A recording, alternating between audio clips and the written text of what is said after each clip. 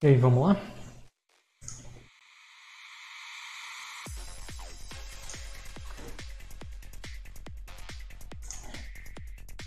Tudo pronto. E aí, tudo bem? Hoje a gente vai dar uma revisadinha, entender, relembrar sobre o Git, GitHub. Eu vou seguir aqui o, o próprio site do Git, ele dá um livro pra gente. Então eu estou usando esse livro para relembrar alguns, alguns conceitos e os comandos também. A gente vai fazer aqui pelo.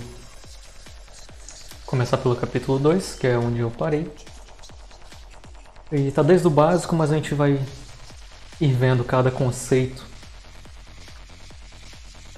e relembrando, certo? Uh, não sei se o áudio está bom, se a qualidade está boa.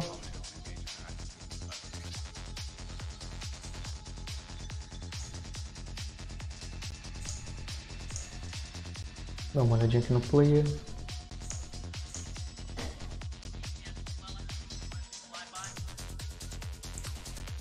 Beleza.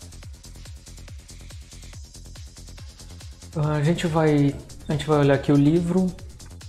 Gente, eu criei também um repositório de exemplo para a gente brincar com os comandos. A gente vai fazer aqui no terminal algum, alguns comandos. Uh, e eu também vou fazer anotações, né? Preparei algumas anotações para a gente separar os principais comandos para ir relembrando depois. E eu também quero testar, usar alguns diagramas para a gente ver o fluxo de como as coisas acontecem nos, nos repositórios. Beleza.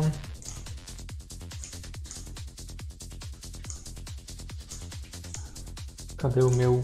Tá aqui, browser. Certo. Bom, básico, né?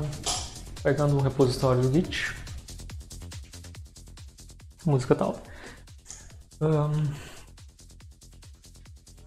normalmente se obtém repositório do Git de duas maneiras. Uh, você pode pegar um repositório local e transformar em um repositório, ou você pode clonar um repositório de algum lugar. Tranquilo. Como é que a gente faz isso, né? Primeiro, primeiro exemplo, inicializar um, inicializar um repositório com um repositório já existente. Então vamos fazer isso. A gente vai mudar aqui rapidinho para pasta de repositórios e a gente vai criar o exemplo que ele deu aqui do My Project. Certo? E vamos para esse My Project. Dentro dessa pasta a gente vê que não tem nada, certo? Então ele ainda não é um repositório, ele é só uma pasta com, com um monte, nesse caso nada, né? Mas poderia ter alguma coisa já. Vamos criar um arquivo aqui, chamar de, tem algum exemplo? Pode ser o license. Pode ser o license. Pronto. Então agora nessa pasta só tem o arquivo license. Vamos criar um readme também. Pronto, temos uma pasta com dois, uh, com dois arquivos que não é um repositório Git ainda.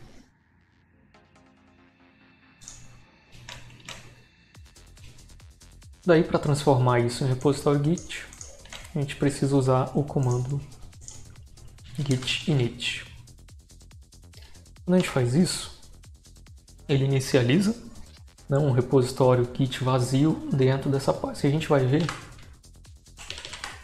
e dentro dela vai surgir um, uma parte chamada .git. E é aqui dentro que o Git guarda é, todas as informações do, do, repositório e também todo o passo a passo do que, que aconteceu, todo o histórico do que, que aconteceu nesse repositório.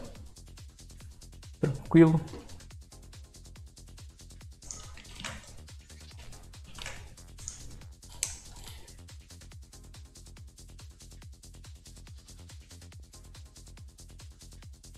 Ah, e aqui um ponto interessante, né? Se você quiser começar a controlar os arquivos já existentes, né, você precisa uh, iniciar esse rastreamento, você precisa fazer com que o Git comece a observar esses arquivos. Nesse momento, do jeito que a nossa pasta está aqui, o Git não está olhando nada. Uh, a gente só inicializou o repositório, né? Uh, então a gente precisa fazer com que o Git comece a observar essas pastas. Então para fazer isso, uh, a gente usa o comando add, beleza, e sai adicionando todos os arquivos que a gente quer que adicione. Né? Se tiver código, a gente adiciona todo mundo. No nosso exemplo, a gente tem o license e o, e o readme. Então vamos adicionar esses dois.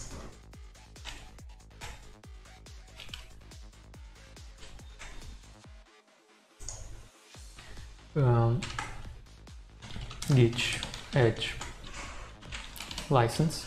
Nesse momento a gente fez o git passar a observar só o arquivo license e agora o readme, certo?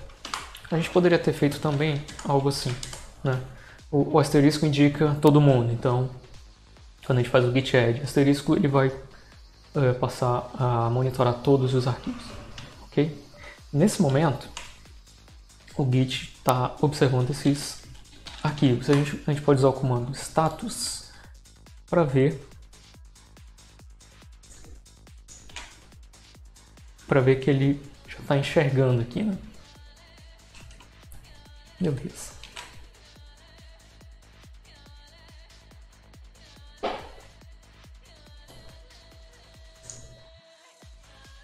Daí no final só fazer o commit né, para ele mandar essas informações iniciais. Nesse momento aqui, do que a gente fez,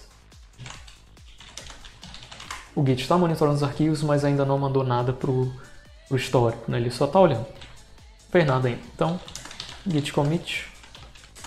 A gente vai ver esse comando commit em mais detalhe depois, mas ele vai fazer um registro desses arquivos, né? Dentro do Git, do que a gente fez. E a mensagem ele usou como exemplo initial. Vou colocar só initial commit. Olha só, faltou fazer isso aqui. Isso aqui é muito importante.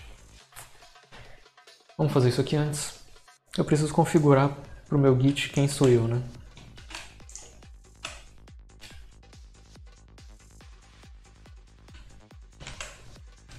Então, configurando esse repositório só.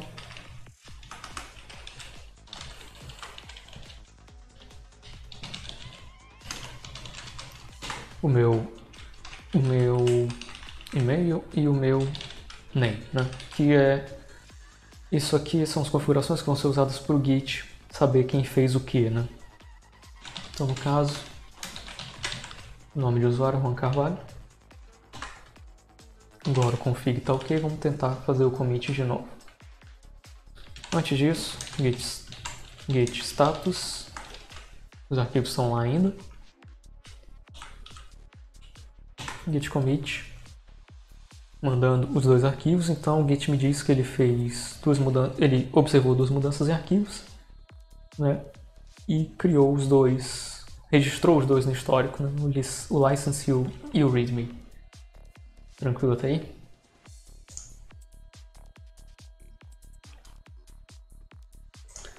Beleza. Esse é o exemplo de fazer um repositório uh, do zero, né? criar ele a partir de uma pasta zerada.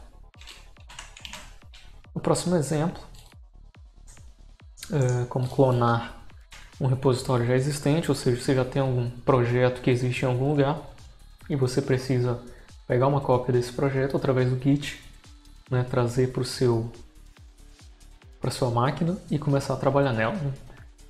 Para fazer isso a gente usa o comando git clone opa. Tem alguma informação aqui mais? É, e o, a sintaxe do comando, git clone e o endereço de onde de onde está o repositório. Né? Então, como eu criei um repositório de exemplo aqui, a gente vai usar ele. E para fazer o clone, eu preciso ir para uma pasta primeiro é, que tipo, é, aonde eu quero que fique esse esse novo repositório. Né? Uh, quando você clona um repositório Git, ele vai criar uma pasta com aquele, com aquele repositório, com todos os arquivos. Então, uh, é bom que você já esteja na pasta que você quer que eles fiquem, uh, para que a organização do projeto fique ok. Então, eu voltei aqui para minha pasta de repositórios, e aí eu vou fazer um git clone e vou pegar o URL de onde está esse repositório. Né? Criei aqui o repositório de exemplo. E no caso do GitHub ele vai me dar o URL. Né? Se for algum outro mecanismo de, de servidor de repositórios, aí você, ele vai te dar também a URL e você pega do mesmo jeito. Então aqui basta copiar e jogar lá para o terminal. Certo?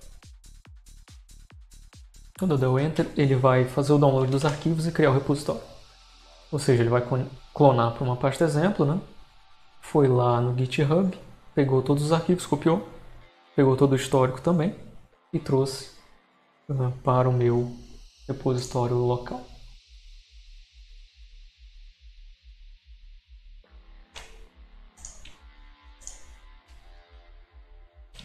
Então a gente pode até ver que agora tem uma pasta chamada example, né? que é justamente o nosso repositório. Então a gente já pode ir lá para essa pasta e ver o que tem dentro dela. Né? No caso, só um arquivo readme, que é justamente o único arquivo que tinha no meu repositório. Se você clonar um projeto que tenha que já tenha muitos arquivos, vai vir um monte de arquivos, uh, vai vir todo o histórico desses arquivos e aí você pode começar a trabalhar nesse repositório. Beleza?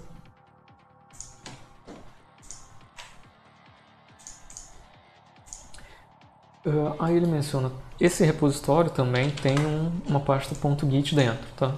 Lembrando que dentro dessa pasta .git é onde ficam os, todo o histórico, todas as operações que o Git uh, já fez, precisa fazer e tudo que ele monitora. Né? Se você apagar essa pasta aqui, uh, você perde o repositório, né? Você é como se virasse uma pasta normal. Então todo repositório Git vai ter essa pasta, ela é oculta e uh, você não precisa mexer nela. Nunca, você nunca vai fazer operações dentro dela. Isso tudo é o Git que cuida.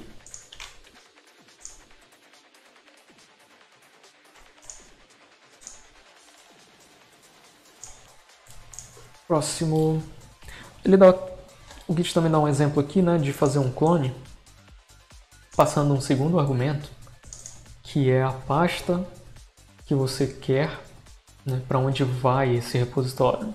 Então, digamos que eu não quisesse fazer aquele clone para uma pasta chamada example, eu poderia dizer para onde que eu, que eu quero, ou o nome que eu quero que ela fosse. Né? Digamos fosse uh, my example. Né? Então ele iria criar uma pasta my example né, no local onde eu estou com esse repositório. Ou mesmo até um outro diretório, né? Se você quisesse fosse para o barra home barra alguma coisa, também, também funcionaria. Ele iria criar esse repositório lá nessa pasta. A Git tem alguns protocolos diferentes, certo? Esse exemplo aqui que ele dá usa o HTTPS. No nosso exemplo a gente usou o protocolo Git que eu prefiro, né? eu acho mais tranquilo de trabalhar. É... O HTTPS às vezes ele pode ter alguma restrição dependendo da rede que você está. Ou então esse outro protocolo aqui que eu nunca usei, mas usa SSH. Né? E aí nesse exemplo ele vai te pedir uma senha não costumo usar, mas ele te pede uma senha. Você vai passar o usuário, né, o endereço do seu servidor, e ele vai te pedir uma senha para acessar esse repositório. Beleza? É, basicamente de clonar repositórios é, é isso aqui. Bem tranquilo, né? Então nesse momento a gente tem um repositório funcionando, só com um arquivo. Se eu der um git status, que é o comando, git status é o comando que me diz como é que está o meu repositório com relação aos outros, né? Então ele está me dizendo que está tudo atualizado né? e não tem nada para comitar, está tudo tranquilo, até porque eu não mudei nada.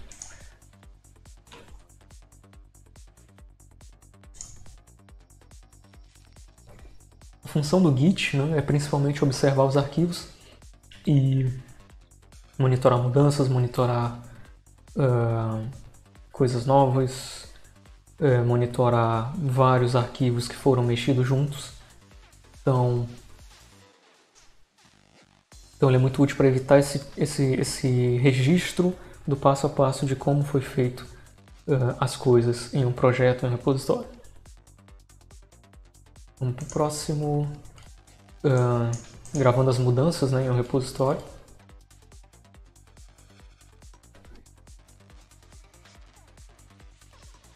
O que ele diz, o que, que ele diz aqui? Ah, nesse momento a gente tem um repositório bem tranquilo, com uma cópia original. E aí você vai querer fazer mudanças, né? Um, cada arquivo no seu diretório tem dois estados, né? Tracked or untracked. Opa, Rodrigo, tudo bem? Cara, tudo tranquilo. Estou fazendo sim o, o Git bem básico, né? Estou é, seguindo aqui o, a própria documentação do Git. Ainda tá, ainda estamos bem no básico, né? É, só fizemos o repositório e vamos ver as mudanças. Começou agora há pouco, tem muito tempo não. Então, uh, a gente tem um repositório aqui de exemplo que a gente vai usar para fazer esses comandos. O que mais? Tá. Cada arquivo em um repositório tem dois estados, né? Tracked or untracked, né? Ele está sendo rastreado ou não está sendo rastreado. Ele está sendo observado pelo Git ou não está sendo. Uhum.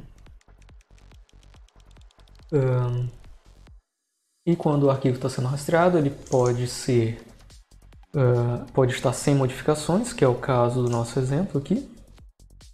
Nosso arquivo readme está sem modificações. O nosso arquivo modified, o nosso arquivo... Não, nosso repositório não tem ninguém modified, não mexemos em ninguém. E ele tem um outro estado chamado staged, que vai que vai dizer se tem alguma coisa para ser enviada. Uh, resumindo, os arquivos tracked, né, os arquivos que são eh, rastreados pelo Git, né, é o que ele está observando, é o que ele sabe que está acontecendo. Os que não são, os que são untracked, né, não estão sendo rastreados pelo Git. Uh, você vai dar uma olhada no Git e sair ou vai puxar o após? Cara, por enquanto só Git e sair. Ainda não, ainda não vou começar nada, nada, nada novo não. Se tem alguma coisa aqui que queira ver, se tiver, manda aí no chat que a gente que a gente dá uma olhadinha rápida agora, se for o caso, depois volta.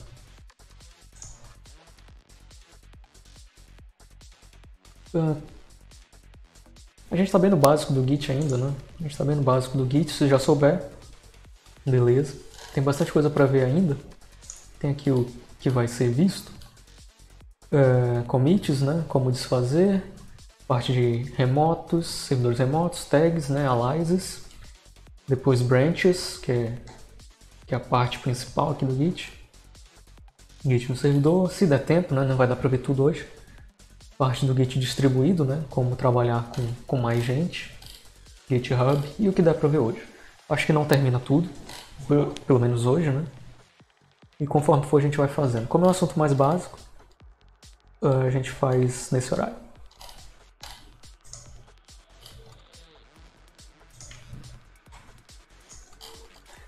Então a gente parou aqui, né? Conforme você vai editando os arquivos, né? O Git observa o que foi mudado, certo? E marca, né? Como, como um arquivo modificado, ele marca aquele arquivo ele compara né, o que, que foi mexido e o que, que não foi.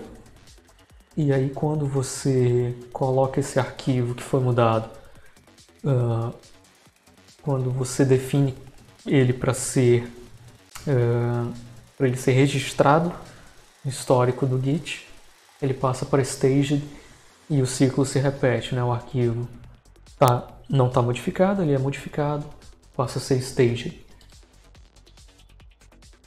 e sempre nesse ciclo. é, ao final do, do, do, estado de stage, quando a gente faz um commit e ele volta para o estado não modificado. Beleza. Olha, esse aqui a gente já viu, né? Vamos verificar o, o status dos arquivos. Que é o git status. A gente já viu, a gente já fez aqui. Por enquanto não tem nada.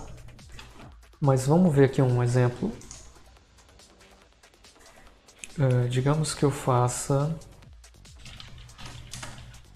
code readme, certo?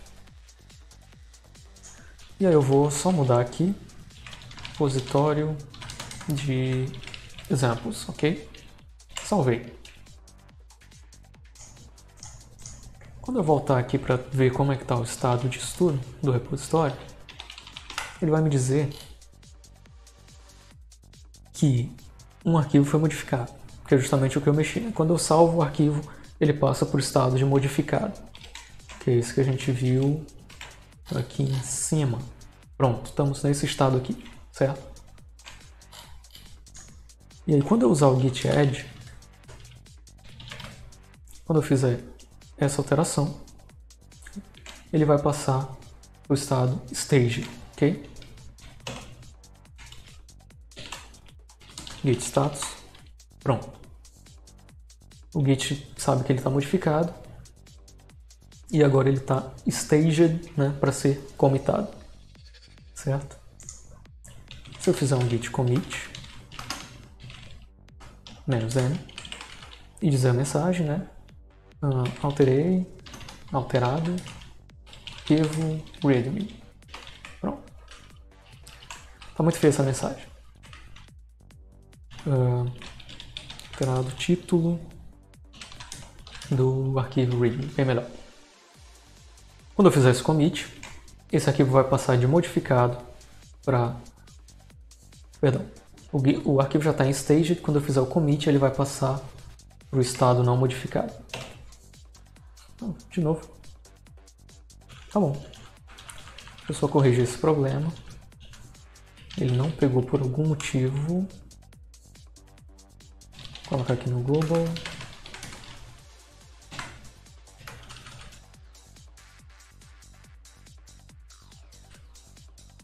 Username, user email.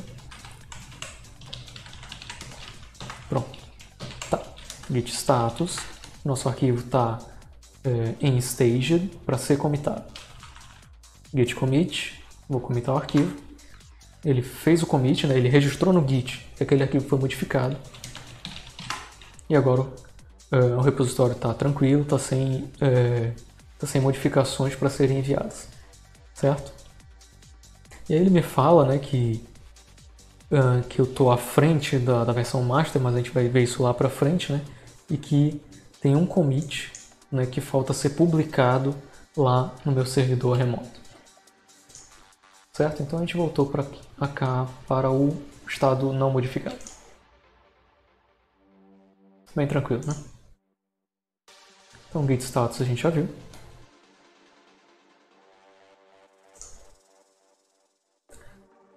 Hum, tem alguma coisa interessante aqui?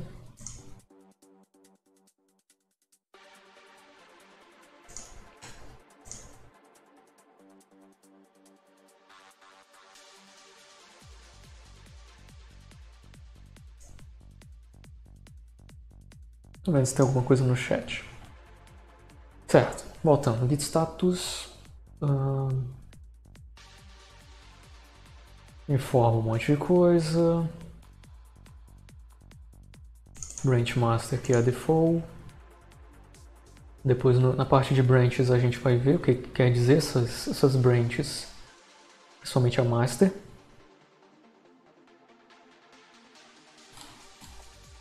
Aqui ele comenta o que a gente já tinha visto antes, né, de, de um arquivo não modificado.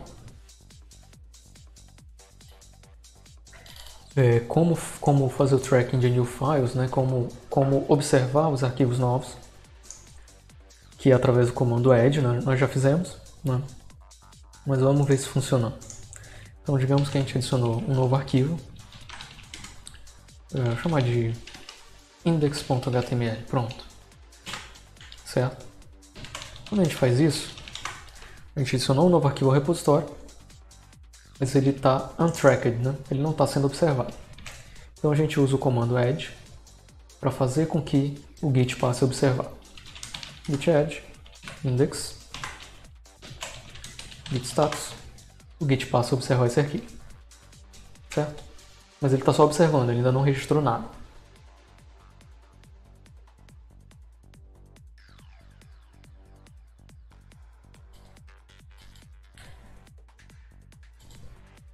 Qual esse comando?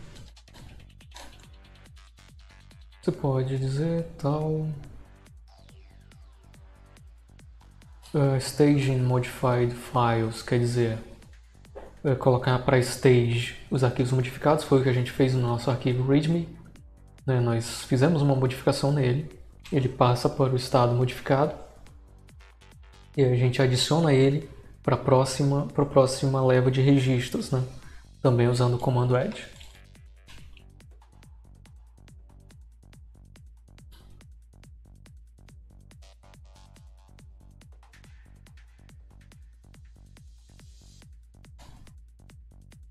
É, aqui é a explicação mais detalhada do que, que a gente fez.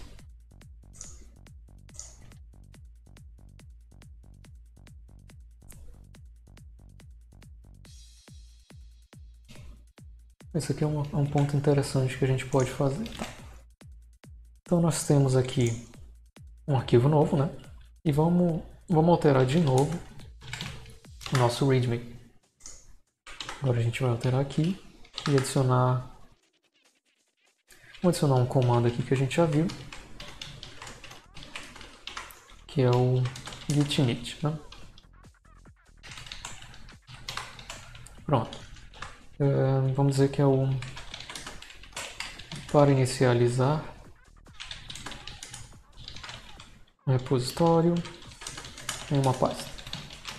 Então você usa esse comando, certo? Pronto. Salvei e fechei.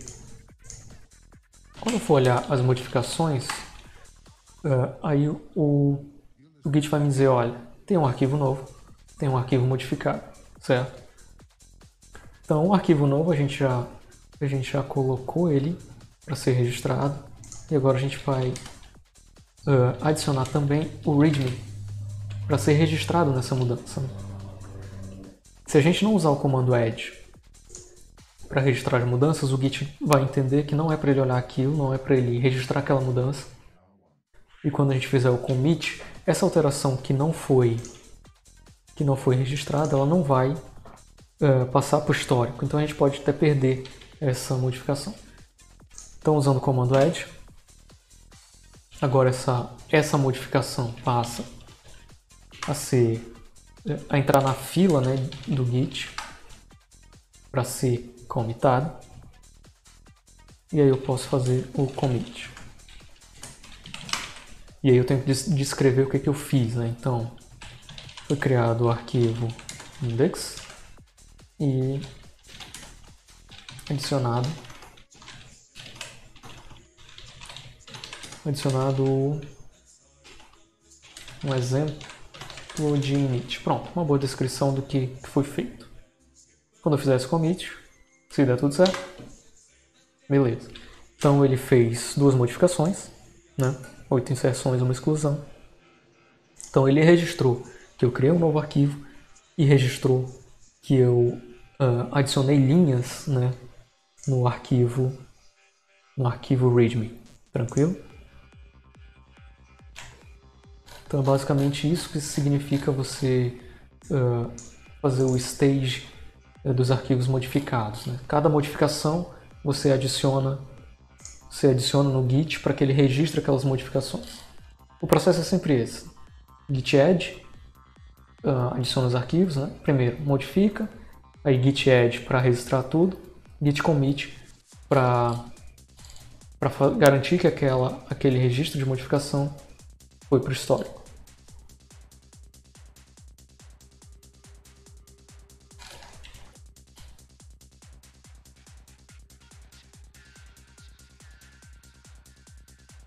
A gente tem outro exemplo aqui, né, que é o short status.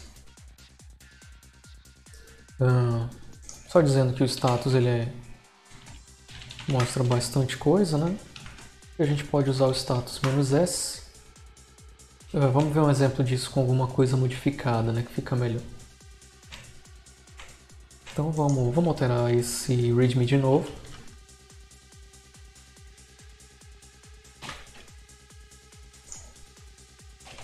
Qual foi outro comando que a gente já usou? git add. É, para adicionar arquivos na fila de registro, talvez. Mais ou menos assim. Deve ter um, deve ter um termo melhor para isso. Git add e o nome do arquivo.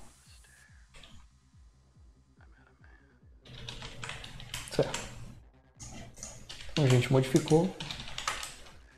Com git status normal tem bastante coisa, né? E com git status menor ele só me diz que foi modificado o readme e os outros estão ok.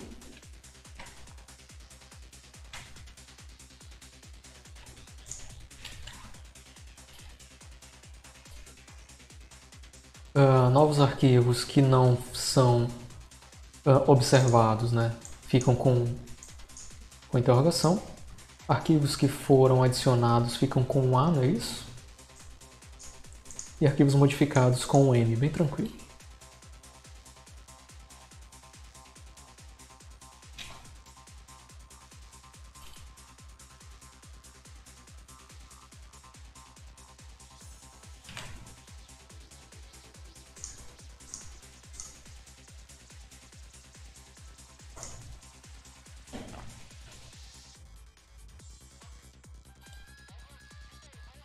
Ignorar arquivos? Esse aqui é bem legal.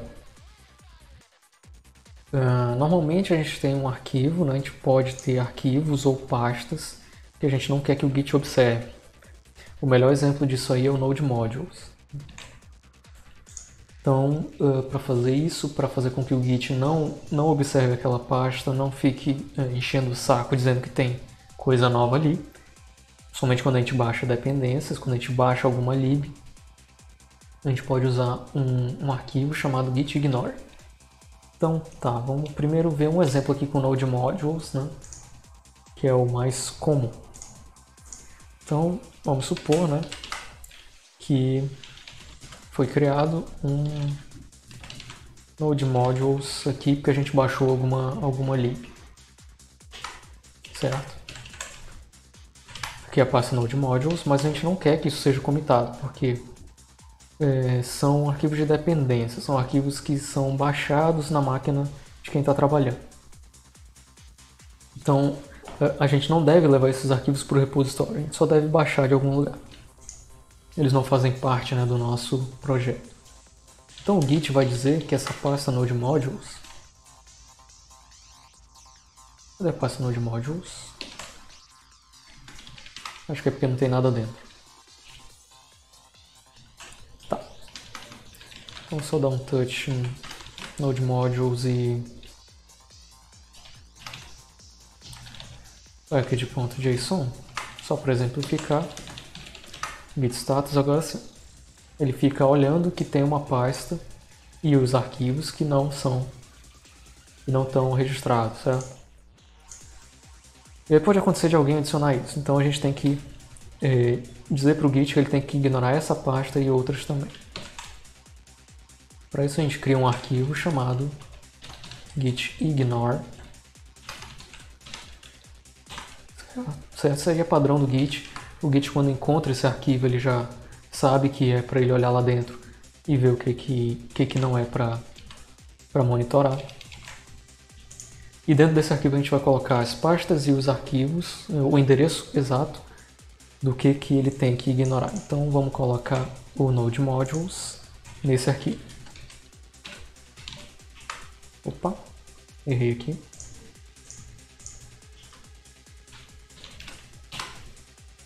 Pronto. Então a gente vai dizer que a pasta node module só, é só descrever o caminho da pasta. Tem que ser ignorado, certo? Ou seja, ele não vai olhar, não vai ver se tem modificação, não vai pedir para fazer o tracking, né? nem staging. Então, passa node modules ignorada. Ela continua aqui, sem problema nenhum. Ok? Mas quando a gente der um git status, aquela pasta ela já não aparece, certo? Vamos S, né? Aquela, a pasta, todas as pastas e arquivos que você colocar no git ignore, o git já vai passar por cima e vai ignorar literalmente. E aqui só, ele só está dizendo para a gente né, que foi modificado o readme e que agora tem um, um arquivo novo que não está sendo monitorado. Então a gente vai adicionar todo mundo. git add ponto, que vai adicionar todo mundo aqui do, dessa pasta. Certo? Já, tá, já estamos é, observando esses arquivos e vamos fazer um commit. git commit com a mensagem, né, foi adicionado o git ignore e e alterações no, no read, tá? É, é uma boa prática a gente não usar acentos, cedilhas, tio. É, o ideal é que nas mensagens sejam sejam mais simples possível. É, eu estou escrevendo a mensagem em português, mas o ideal também é que as mensagens sejam em inglês. A gente vai ver lá na frente é, uma convenção, um padrão para essa, essas escritas desses commits para que eles sejam bem, bem explicativos, certo? Então fiz o commit. Agora todos os arquivos estão no estado não modificado, certo? Tá tudo bacana. E o Git vai ignorar a pasta Node Modules, certo? Ou qualquer outra que eu adicionar lá no, no Git ignore.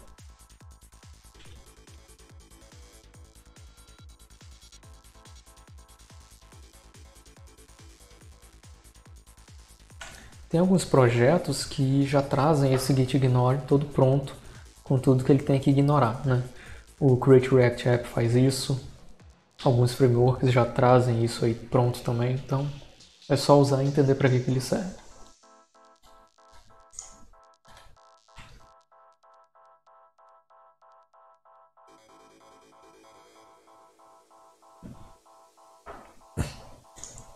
O que mais?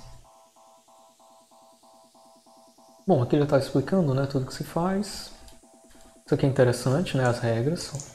Uh, linhas em branco, ou linhas que começam com a uh, cerquilha, né, o sharp, são ignoradas. O sharp é um comentário, né, vira um comentário. Uh, standard Globe Patterns eu desconheço, uh, mas deve ser Deve ser asterisco. Vamos ver o que é isso aqui.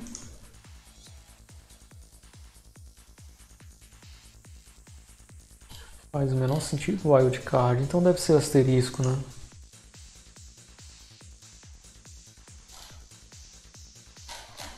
Deve ser algo do tipo.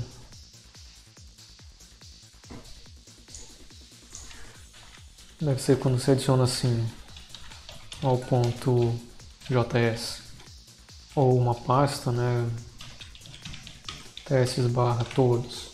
Então deve ser algo desse, desse formato aqui. Você pode começar com, com uma barra para evitar recursividade. Você pode terminar com a barra para especificar um diretório, que foi o que a gente fez né, aqui no, no nosso arquivo. e você pode negar um padrão começando com uma exclamação. Nunca vi isso sendo usado, deve ser um pouco comum, mas permitido, né? Aí, o glob patterns são, são expressões regulares simplificadas, né?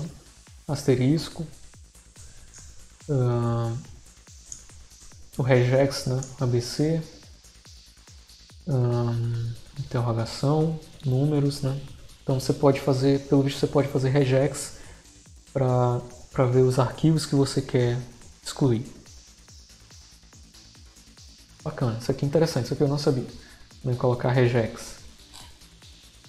Então exemplos de git ignore, né? todos aqui todos os arquivos que tenham extensão A para ignorar. Uh, nesse exemplo aqui,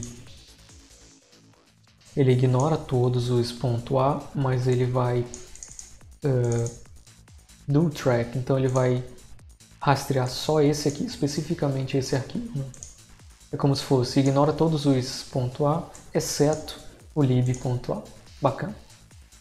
Uh, ignore apenas o arquivo to-do no diretório atual, certo? E não o subdiretório, né? Pode ser que você tenha uma pasta com o mesmo nome, interessante. Ignorar todos os arquivos em um diretório build, bacana, foi o que a gente fez. Ignorar na pasta doc. É, notes.txt, mas não server. Então na pasta doc todo o arquivo txt. E embaixo todos os PDFs em todas as pastas na pasta doc. Então quando você põe tudo isso aqui, você está evitando que esses arquivos sejam é, enviados para o repositório. Né? É, isso é muito comum porque tem arquivos que, que não precisam ser versionados ou, ou, vão, ou são muito grandes e vão ocupar espaço à toa ou arquivos que são gerados.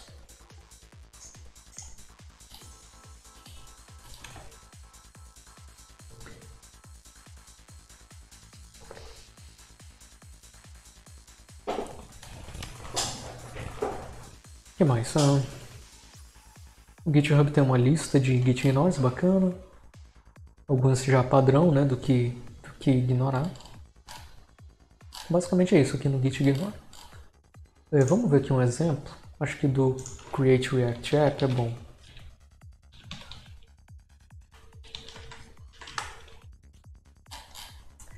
Uh, esse cara aqui.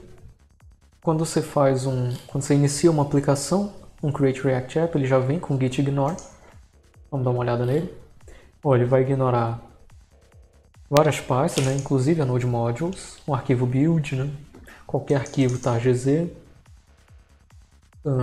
alguns templates, arquivos de log ele vai ignorar também, arquivos de npm e o yarn log, essa daqui ainda não tinha visto. Então, uh, dependendo do projeto, ele já vai trazer alguns e você pode adicionar também aqui sem problema.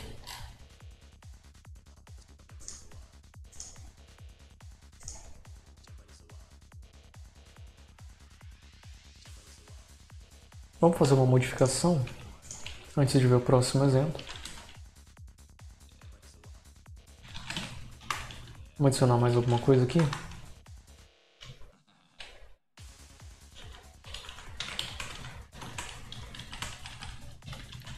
Então git commit "-m". E a descrição do commit das mudanças. Melhor. Certo? Vamos deixar modificado aí sem, sem fazer essa alteração, sem fazer o commit disso.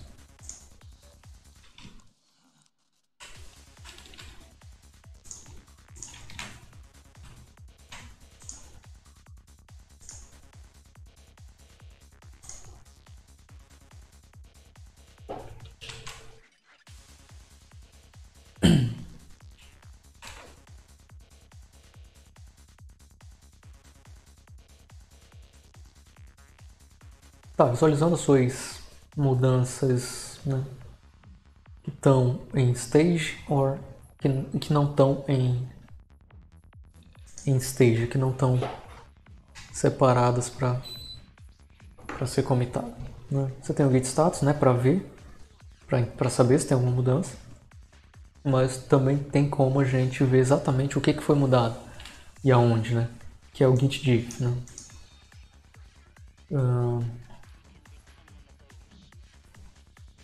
Isso aqui eu acho que a gente já fez, né?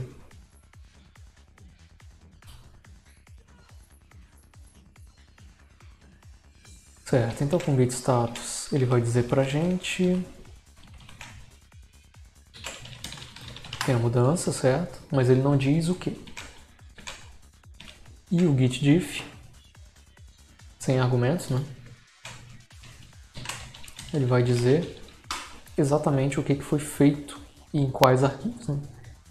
Então aqui ele está me dizendo que no arquivo readme, certo?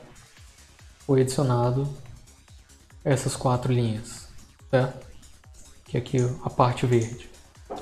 Então o git, perdão, o git diff serve para você ver a diferença entre dois arquivos, né? Você vai ver é, o que, que foi adicionado ou removido é, da versão da última versão que ele tem no histórico, né? Da última versão que ele sabe que está registrado no histórico.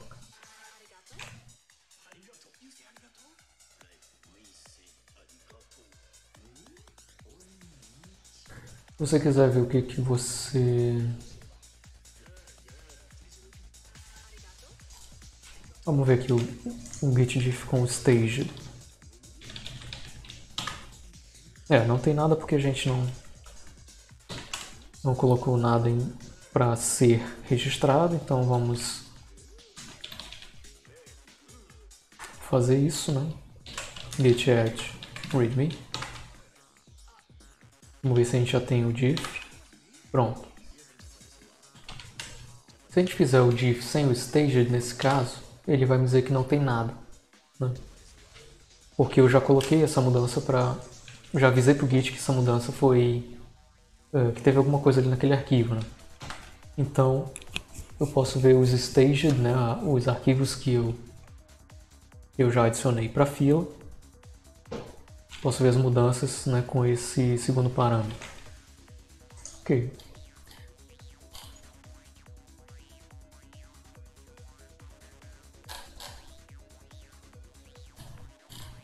Mas uh, é importante dizer que o Git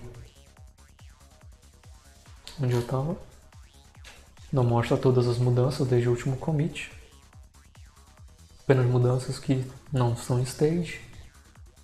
Uh, se você tiver, se você já tiver staged, né, se você já tiver adicionado todas as suas mudanças, o diff não vai mostrar nada que foi o que aconteceu com a gente. Uh, É basicamente que já foi o que a gente fez e o git diff menos menos cache para ver o que você colocou em stage até agora. É a mesma coisa do outro, né? Cache, ele vai me dar o mesmo resultado.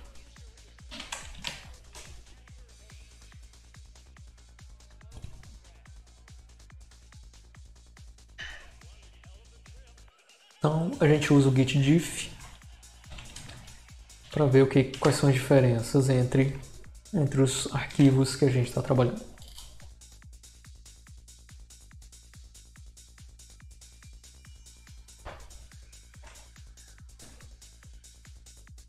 Uh, committing, né, fazendo commit das mudanças. A gente já viu bastante. Depois que a gente faz o git add em um arquivo, a gente usa o git commit para fazer o registro dessas mudanças. Uh, Existem duas formas, né? uma é só usando o git commit. A gente usou o "-n", né? Se a gente usar só o git commit, ele vai abrir para a gente o editor de texto para a gente descrever o que, que foi feito. Né? Então eu vou dizer aqui que foi feito, uh, nós adicionamos, né? Exemplo com exemplo de commit. Pronto. Salvou.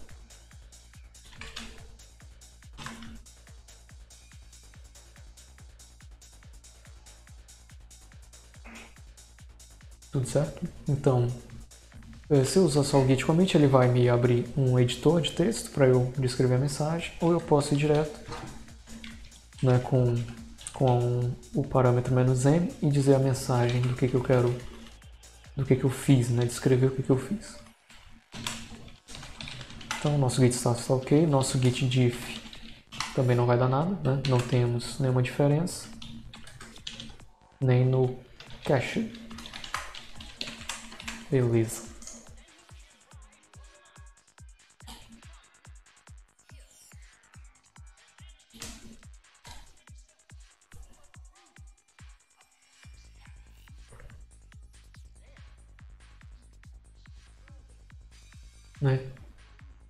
Aqui é o exemplo né, do commit com a flag "-m", né, com a mensagem logo do lado, que é o que a gente costuma usar, né? é mais rápido. Se você tiver, quando você estiver modificando muitos arquivos, quando tiver feito muita coisa, aí o ideal é que se use né, esse formato do git commit sem nada para abrir o editor de texto e você descrever cada, cada passo do que foi feito. Né?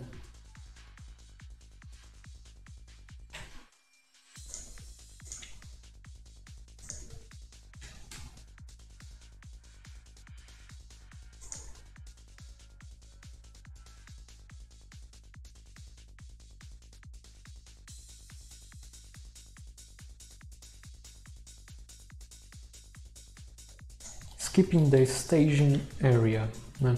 pulando essa parte de, de staging de arquivos. Né? Isso aqui é para você fazer direto, né? tem uma, ao invés de ter que fazer todos esses passos, né? o que a gente sempre tem que fazer? Né? Tem que dar o git add, depois o git commit, certo? Para evitar tudo isso, tem uh, você tem como pular essa etapa toda, né? É, usando a flag "-a" né, no commit. Então isso vai fazer com que o Git é, adicione né, cada arquivo é, que já que já estava sendo né, observado, isso é importante. sempre, e aí não precisa ficar mais com o comando add, seria algo assim.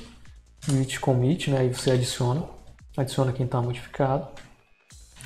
E aí você diz a mensagem, né? Do que, que quer que seja feito. Vamos tentar fazer isso? Então vamos lá, é mais uma alteração aqui no README. É, git status. Depois a gente melhora esse arquivo. São só exemplos. Git status, pronto. Adicionamos isso aqui. Beleza. Se eu tentar nesse momento se eu tentar fazer isso agora, fazer um commit agora, ele vai me dizer, olha, tem alguma coisa, é, tem, tem modificação aqui, tu não colocou nada é, para stage, né? não, não colocou nada na fila, e tem modificação aqui, eu não tenho nada para comitar, certo? Aqui que a gente teria que fazer git add, né? depois git commit. Só que a gente quer pular, né? a gente quer seguir esse exemplo, então a gente vai fazer git commit direto, menos A, para adicionar esse arquivo aqui, que ele já está sendo observado. Né? Se tiverem arquivos novos, é, o, esse, esse comando não vai adicionar. Ele só vai adicionar os que já estão sendo observados. E aí o menos "-m" dizer a mensagem, né? Adicionado, comando git status. Só o comando status, certo? Então ele vai adicionar o arquivo, Agora sim. Adicionou o arquivo para stage e já fez o commit para mim. Ok?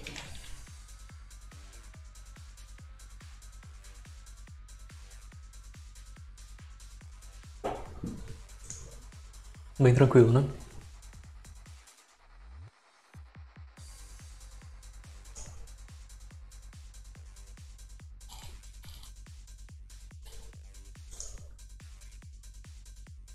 Como remover arquivos? Isso aqui é interessante também. É para remover um arquivo do Git, né? você tem que remover ele dos seus arquivos que estão sendo observados, certo? Um, ou remover né, da área de stage e aí comitar isso. Né? Você usa o comando gitrm, ok? E isso também faz com que o, o arquivo seja apagado do, do próprio diretório. Então vamos criar aqui um arquivo. Nosso git status está tudo certo. Nós temos esses arquivos. Vamos criar. Vamos criar um arquivo chamado é, to do. Pronto. Certo? O git status vai dizer para mim né, que tem um cara novo aqui que não está sendo observado. Tudo bem.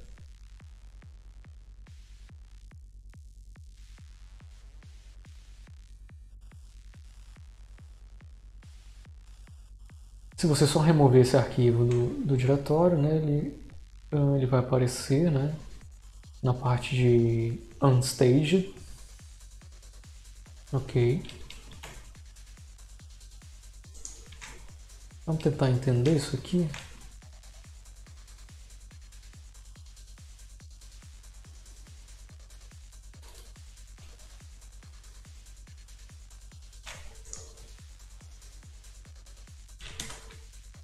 Uh, vamos fazer um RM. To do.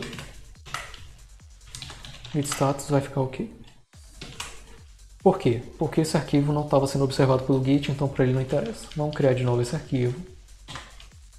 Agora sim, e a gente vai adicionar esse arquivo. Uh, na área de stage do Git, certo? Então agora a gente tem isso aqui. Ele, o Git está observando esse arquivo. Daí se a gente fizer um rm to do, o rm do sistema operacional, né? se a gente excluir na mão esse arquivo, o sistema operacional vai excluir o arquivo, o arquivo sumiu. Só que o git status vai me dizer, né, que ó, é, teve uma mudança, né, teve uma criação desse arquivo to do, mas também teve esse, esse delete aqui. Né, então ele vai meio que estranhar né, essa, essa inserção com essa remoção, certo? Então para a gente isso aqui vai ser comitado. Né? Se a gente fizer o commit agora, essa, essa criação desse arquivo, ela vai para o nosso repositório. Então você vai ter um, um arquivo, a criação de um arquivo que não existe mais. Então a gente usa o git rm, certo? Para remover esse cara da nossa, do nosso histórico, da nossa lista de observação do git. Ok? Git status. E aí tudo certo. Né? Certo? É como se ele nem tivesse existido a princípio. E a outra forma de fazer isso né, é direto, sem, sem ter excluído. Então vamos criar de novo. E git add to do. Então, ele já aparece aqui. E aí a gente pode ir direto. O ideal, inclusive, é que você vá direto, né? Que você use o git rm, porque ele já apaga e já remove uh, do, do histórico do git. Então, git rm to do.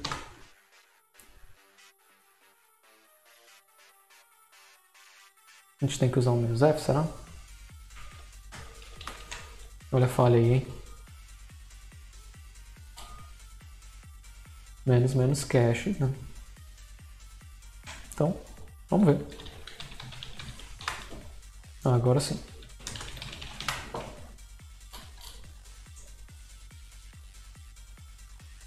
Ele mantém o arquivo, né?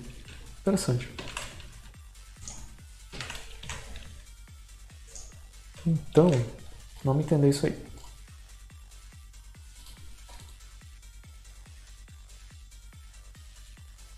Sim, eu devia ter usado o, o menos "-f", então, né, para fazer essa remoção direta e também do, da área de stage do, do próprio Git.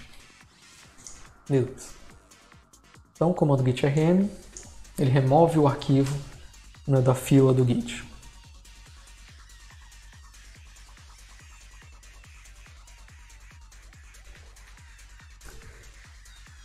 Uh, você pode usar o RM para manter o arquivo, né? Com, esse, com essa flag cached, que foi o que a gente fez agora. E você pode passar arquivos, né? Diretórios.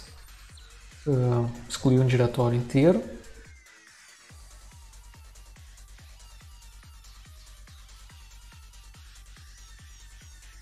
Também usar aqueles aquelas wild flags, né? os asteriscos, a ponto e a extensão do arquivo.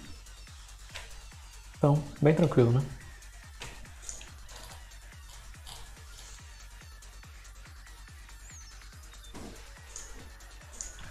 Como é que está o nosso repositório? Está ok?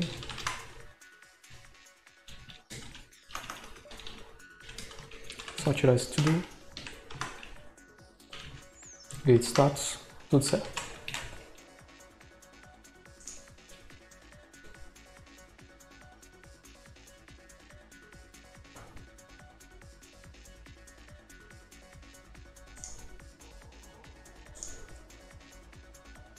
Como mover arquivos, né? É... O Git ele não rastreia movimento de arquivo, né? Então se você mover de uma pasta para outra, o Git não, não vai observar isso. Certo? Se você renomear também uh,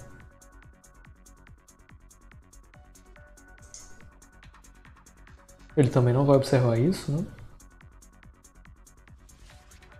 Mas ele até é, detecta que foi, que foi excluído um arquivo, como você move, né? Ele detecta que um arquivo foi excluído e foi criado outro em algum outro lugar. Hum. E aí o Git tem o comando gitmv para mandar os arquivos para algum outro lugar e principalmente para renomear, né? Então vamos fazer esse exemplo aqui. gitmv readme. Nós vamos renomear só para o readme e ver a mudança, certo? Ele percebe que teve essa, essa alteração de nome e a gente tem que fazer o commit disso.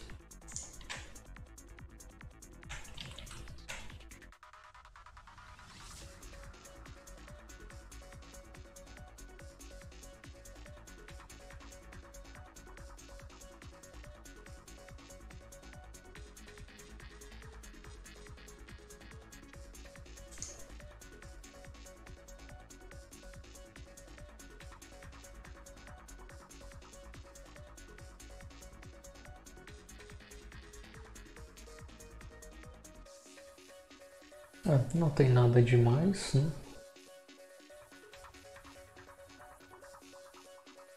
O MV pode mover ou renomear. Depois que você fizer isso, você tem que fazer o commit né, desse, dessa alteração. Né? Então seria algo como git commit "-m", né? Renomeado, arquivo, readme é. Mas eu não vou fazer isso.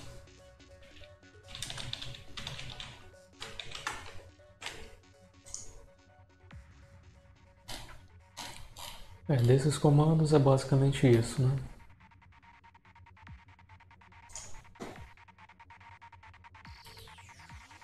Vou fazer aqui só uma pausa, pegar uma água e volto já.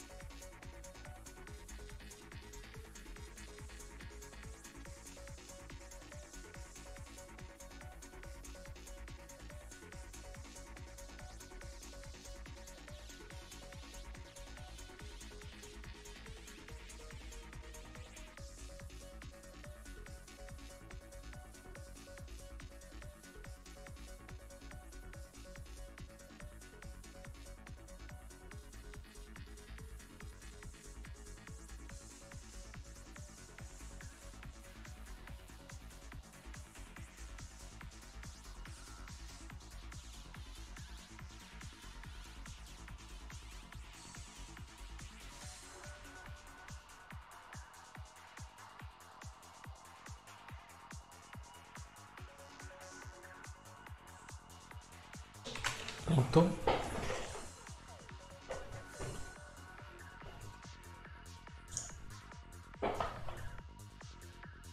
Uma pausa para água.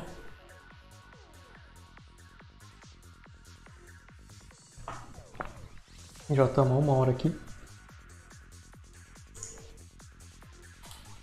Onde é que a gente está? Nós estamos no Commit History. É, eu acho que só vai dar para fazer essa, esse capítulo do básico, né? Depois Talvez amanhã ou mais tarde a gente continue com, com parte de branches. Tentar acelerar um pouquinho.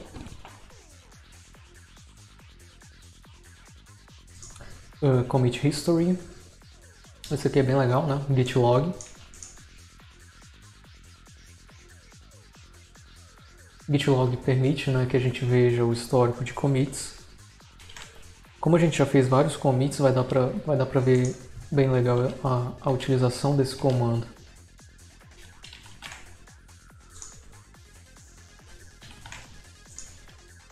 Basicamente, git log, ele vai te mostrar é, o, os últimos comandos, né? Então o que a gente fez, né? Adicionamos o status, adicionamos o exemplo do comando commit, git ignore e tal. E mais alguma coisa? Assim. E aqui é o comando inicial, certo? Aqui embaixo.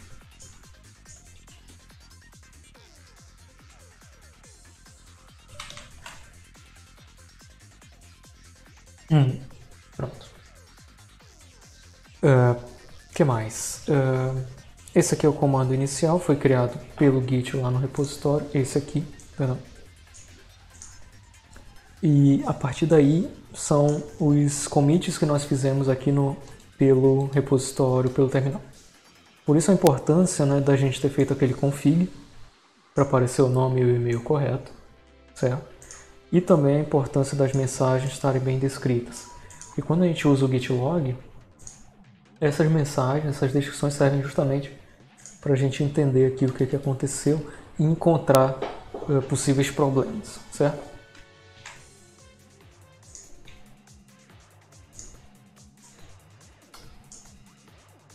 Angel Souza comentou se vai ter branches hoje. Cara, espero que sim, se der tempo né? É, a gente ainda tem bastante coisa para ver. Mas é, acho, acho que os próximos, se forem poucos, a gente consegue chegar em Branching, que é o próximo capítulo. Né?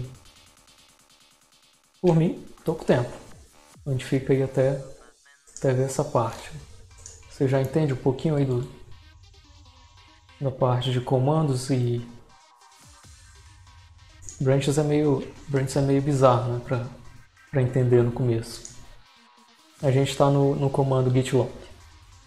Então, basicamente, o git log serve para você ver né, as, todos os commits, né, o histórico de commits.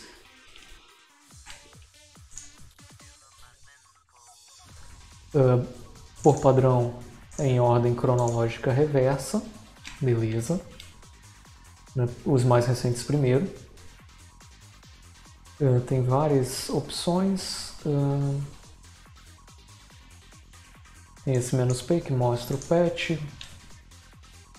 Não costumo usar, que mais?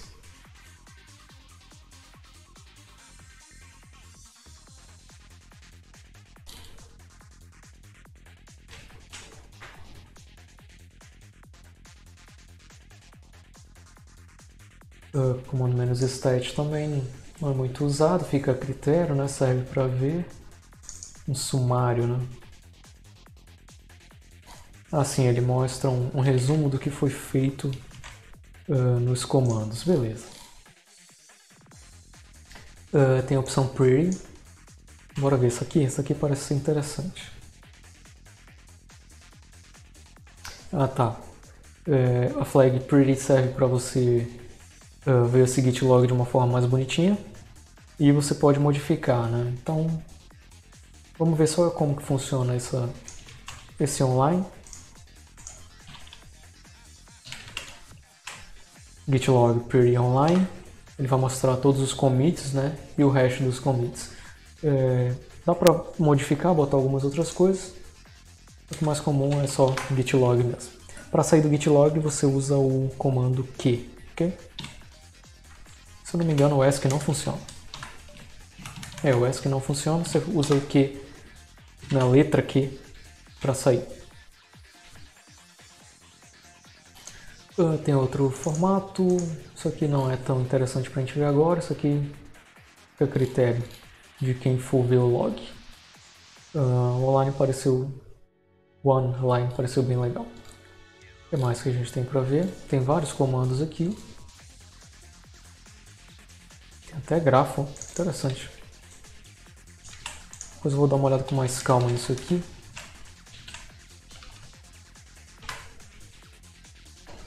Bem legal. Uh, limite, né, limitando o, a saída do log, isso aqui é interessante. Né, porque quando você está num projeto muito grande, projeto de anos, né? Ou de vários meses, o git log vai, vai embora, né? Uh, então você pode limitar, né? Uh, desde quando né, você quer uh, que apareçam as opções. então, é como a gente começou esse repositório hoje, em todo mundo, né? Since de repente você pode usar aqui since one day, vai ser só o de hoje, né? Isso é muito bom para repositórios de Teams, né? Repositório de várias pessoas, para você ver de repente o que foi feito ontem. Uh, também é possível filtrar por autor, né? Então eu tenho aqui um commit que foi feito. Se bem que todos foram feitos por mim, né?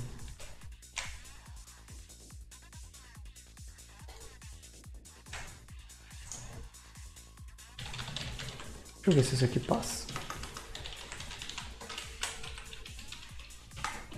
Legal, então você pode filtrar por e-mail.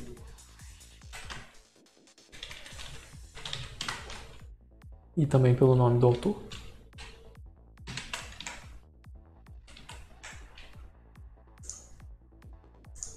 Mais. Uh, outro muito útil é a função "-s", pickaxe, ela pega uma string e mostra somente os commits. Interessante. Pega uma string, né? E vai mostrar os commits que mudaram ou que tem número de ocorrências daquela string. Interessante.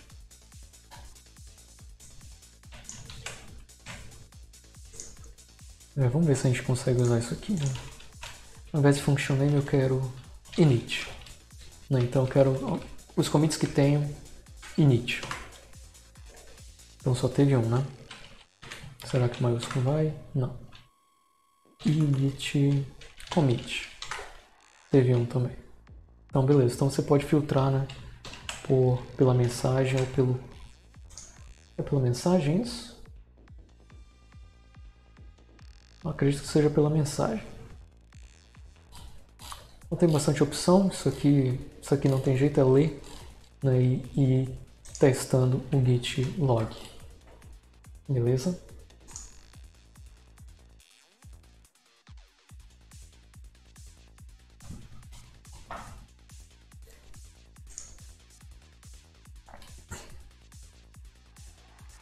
Como desfazer coisas, esse aqui é muito importante, viu? Uh,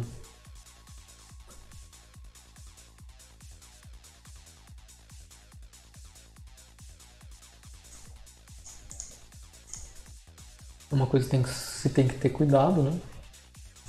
É, nem sempre você pode desfazer alguma dessas operações. É, um dos mais comuns é quando você faz o commit muito, muito antes, muito cedo, né? E esquece de adicionar alguns arquivos. Ou quando você é, faz uma mensagem correta, né? Uma mensagem de commit. Então, se você quiser refazer aquele commit, né, adicionar coisas, aquele commit que faltaram. Uh, você pode usar a opção amend, né? Então vamos ver aqui qual foi o último commit. Foi o comando status, certo? Então a gente vai fazer um amend, né? git commit amend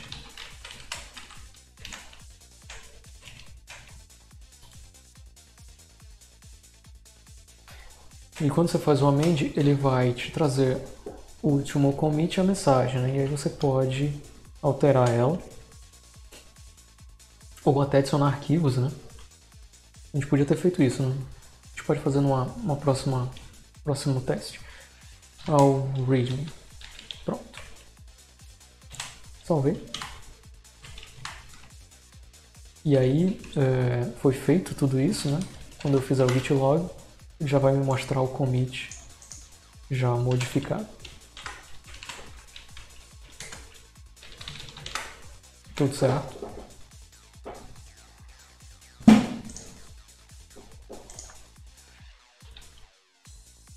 Então digamos que eu alterei o readme ou precisava alterar naquele último commit uh, para ver como está o repositório. Pronto, faltou, digamos que faltou colocar isso no readme. Salvei. O git status vai me dizer que tem essa modificação. Eu vou adicionar esse cara. Né, adicionar a fila de stage.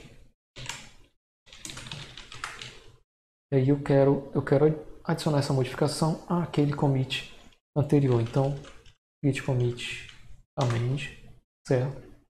Adicionado comando, não vou mudar a mensagem, só adicionei aquela alteração no arquivo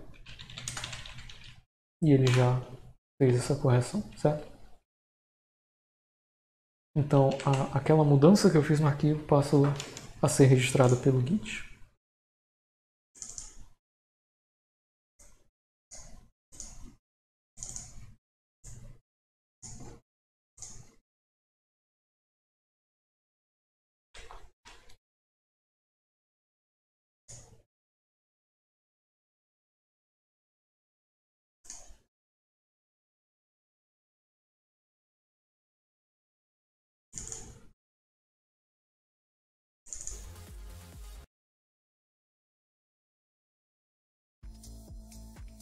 Melhor.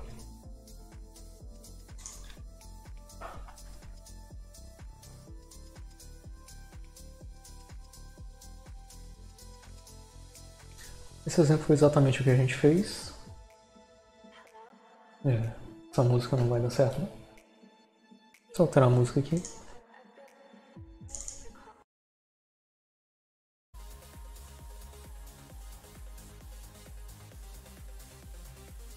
Tiver ruim o som aí me avisa.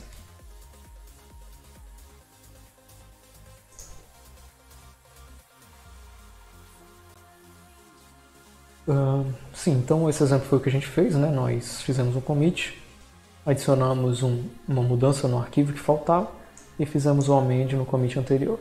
Eu poderia ter feito outro commit também, não tem problema.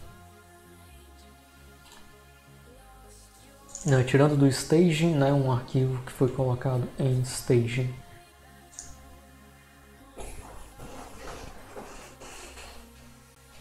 Isso aí quer dizer que você uh, adicionou um comando na fila né, para ser comitado, mas você não quer mais que aquele arquivo seja uh, esteja na fila de commits, né? Ele vai, ele tem que ser feita alguma alteração, alguma coisa ainda. Então, como que a gente remove ele é, da fila de, de staging, né? Então vamos tentar fazer um exemplo disso. Então digamos que a gente criou aquele arquivo to do, certo? E também modificamos aqui o readme. Certo? Vamos adicionar aqui o gitlog. Vamos adicionar outra coisa aqui para ver como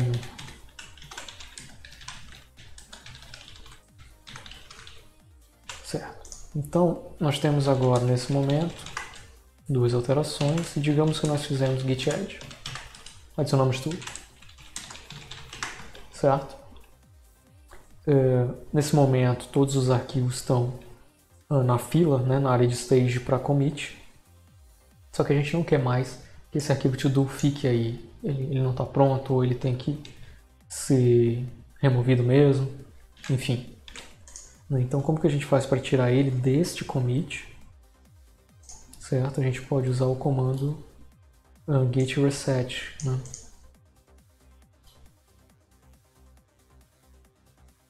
Para a gente retirar esse cara da, da fila de comando.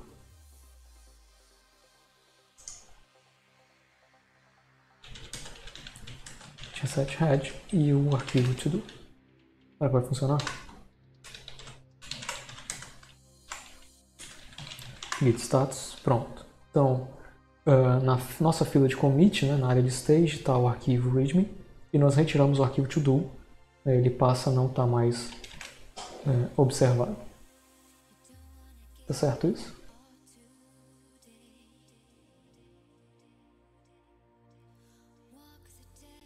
Ok.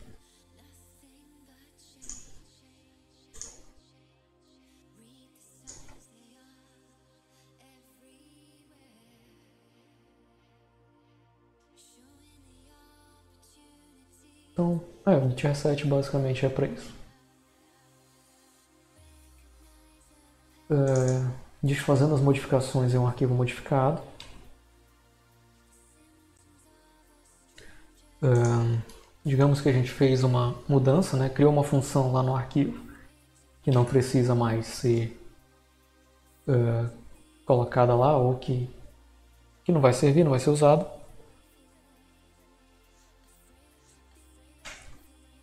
Uh, digamos que a gente precisa. Isso aqui não vai mais ser usado, então a gente vai retirar, né? O git log Opa, git log não. Git status vai dizer pra gente que esse arquivo está na fila, foi modificado. E aí a gente pode usar o git checkout para fazer essa restaurar esse arquivo ao estado anterior dele. Certo? Então a gente vai desfazer nessa modificação. Então git checkout né, menos menos, e dizer qual é o arquivo que a gente quer restaurar, de forma que ele vá, fique no mesmo estado do último commit que já foi registrado para ele. Né? Então quando a gente fizer esse checkout menos menos nesse arquivo, ele vai voltar, né, ele vai remover aquela mudança que a gente fez.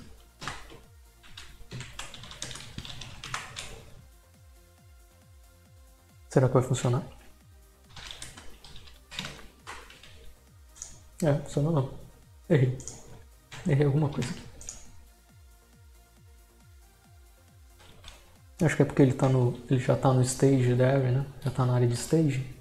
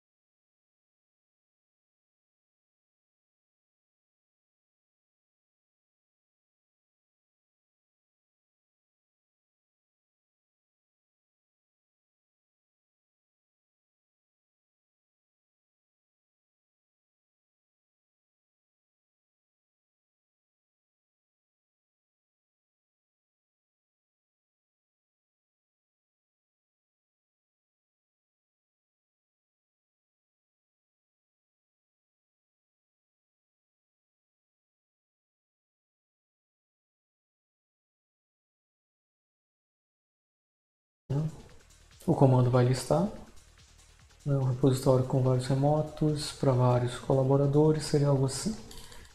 Não é muito comum, mas acontece. Como adicionar um repositório remoto, né?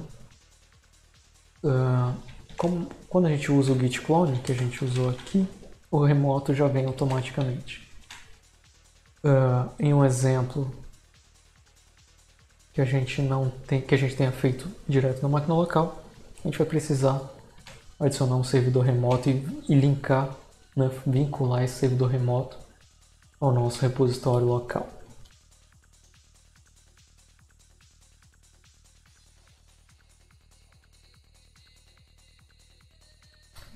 É, Para isso é o comando git remote add, ok?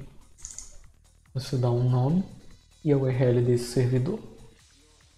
Quando você usa o GitHub é muito difícil fazer isso.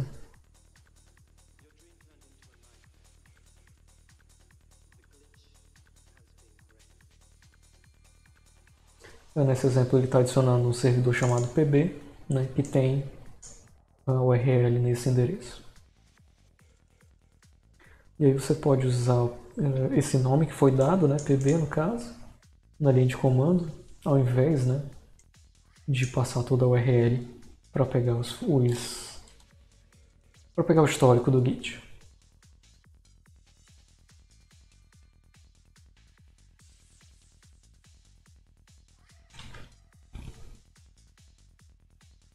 Por padrão, né, por padrão no GitHub, uh, o remoto é chamado de origin, que é origem. Próximo. Esse comando é muito útil, né, o gitfetch, né, é, que serve para pegar dados né, dos projetos ou dos repositórios remotos. Né, ele vai lá no repositório remoto e puxa né, ele faz um fetch, né, ele pega todas as informações daquele repositório, só as informações. Né, pega as informações que você não tem ainda. Certo? Então ele meio que sincroniza uh, para saber se o seu servidor está à frente, se ele está atrás, uh, ou se está atualizado com, com o servidor remoto.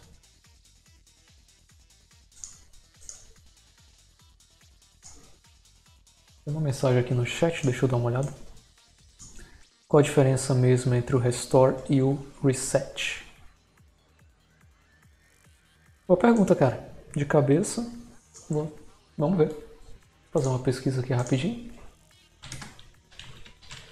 Eu sei que o eu lembro que o reset ele vai restaurar o arquivo pro uh, formato original. Uh, certo, vamos lá uh, Git Restore é sobre restaurar os arquivos na árvore, né? Uh, tanto do index ou de outro commit. E o Git Reset é sobre atualizar sua branch. Uh, não deu para entender nada, né? Deixa eu ver um. Pronto, aqui deve estar melhor. Git Restore, né? Restore Working Tree Files. Então, restore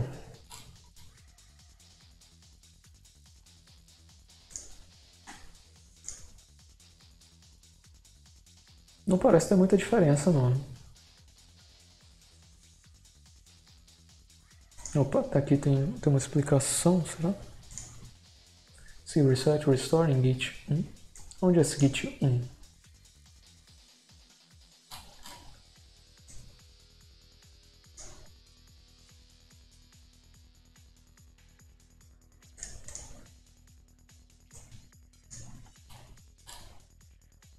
Conseguiu entender alguma coisa aí, cara? Uh, restaura né, os arquivos da árvore. Já o reset, ele reseta, né, redefine né, uh, o, o, o index head atual né, para o estado especificado. Meio, meio confuso, né?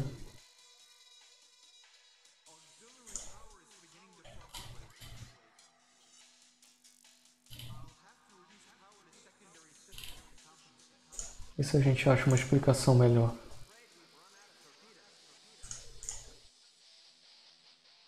Stack Overflow. Tem esse aqui. Uh,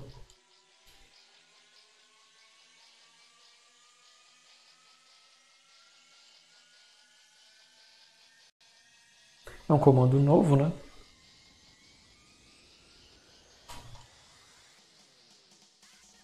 Isso aqui é português de Portugal, pelo visto.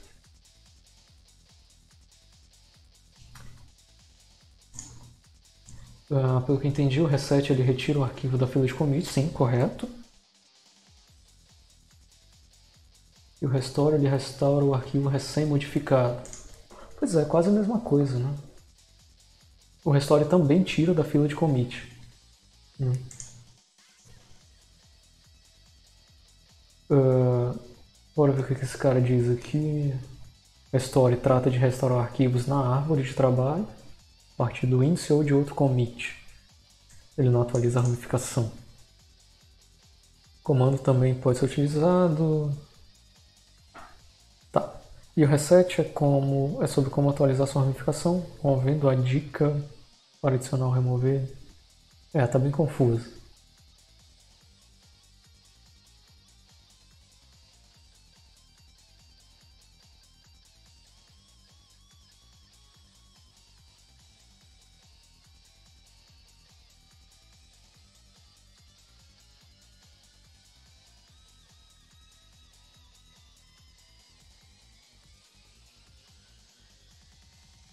Mas muito provavelmente tem a ver com, com árvore e com os índices né, de, de, de cabeçalhos dos. tanto da árvore quanto da branch, talvez. Precisa dar uma olhada melhor nisso aí. Né?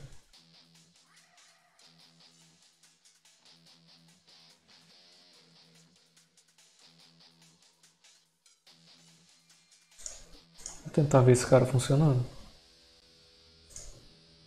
Tá, vamos ver se tem alguma modificação aqui.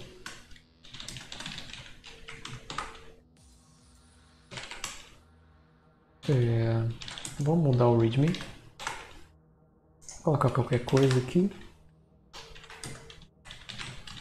Pronto. Tá, então a gente tem uma modificação. Certo? Tá. Então ele me diz, use o git restore para descartar as mudanças né, no Working Directory. Directory. Então, se eu fizer aqui um git restore nesse arquivo,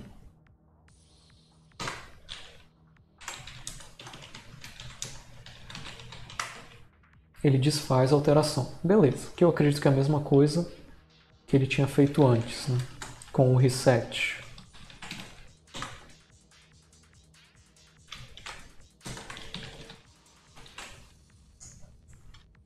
Vou fazer a mesma operação, só que agora usando o reset. Git reset readme.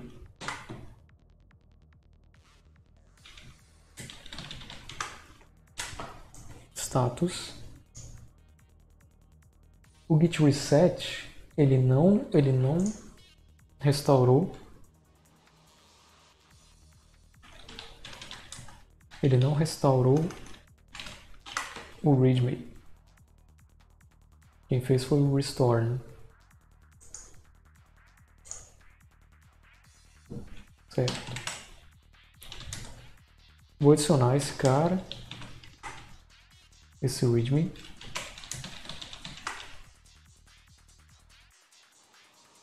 Tá, ele me disse para usar o restore para para tirar do state, ok.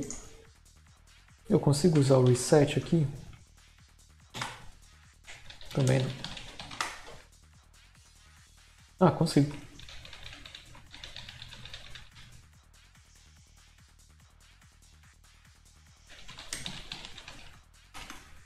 Então, aparentemente... Será que é isso mesmo? Me corrija aí se eu estiver errado. Tá, então o o restore ele ele retira da fila e desfaz a modificação. Já o reset ele só retirou da fila.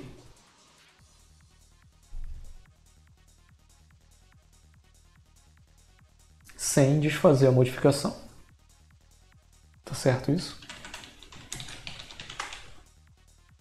Vamos lá, git add readme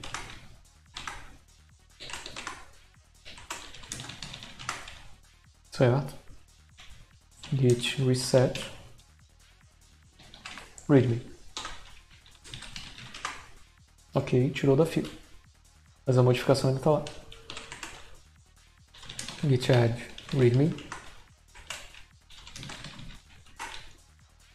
Vamos ao restore. Git restore. Se eu fizer direto aqui, ele vai retirar, né? vai tirar da fila e vai desfazer a modificação. E se eu usar o staged, eu acho que ele vai manter a modificação. Vai retirar e vai manter. Isso, está correto então. Deu para entender aí, cara?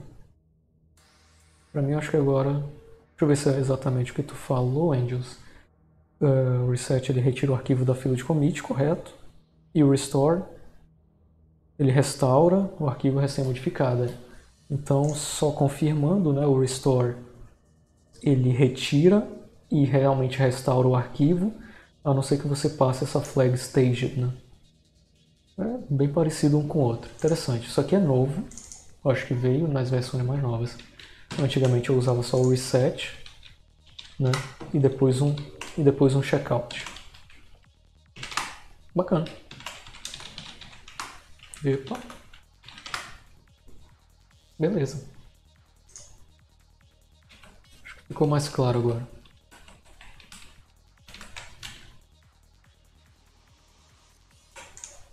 certo?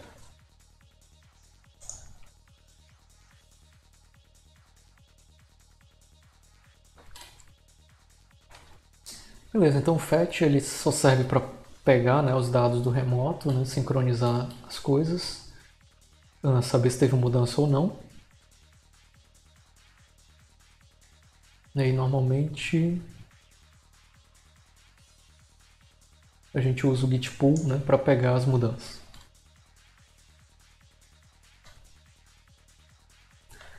E aí a gente tem o comando push. O push vai enviar as mudanças para o repositório remoto. Nós não fizemos isso ainda.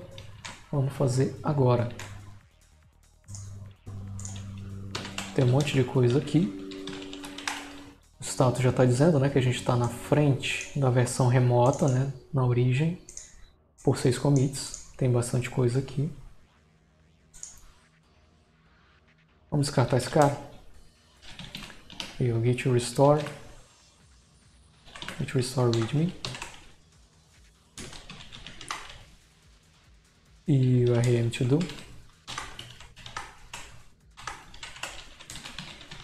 Tudo certo git push origin master ele vai mandar todas as alterações lá para o nosso servidor que ainda não tem nada, né?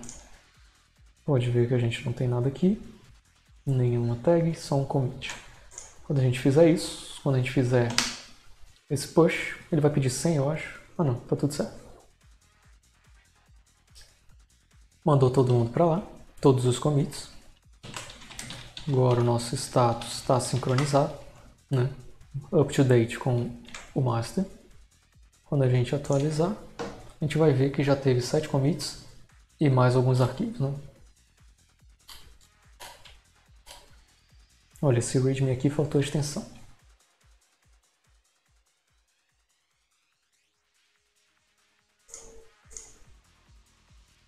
Uh, inspecionando o remote, git remote show, vamos dar uma olhada. É o origin.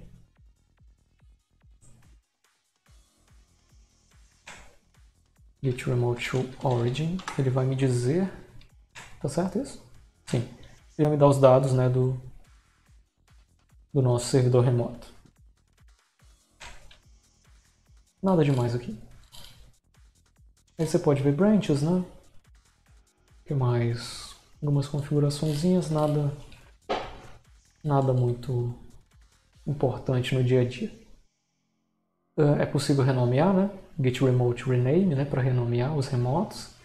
Não é muito usado, mas tem essa opção, né? E você pode remover né, o servidor remoto.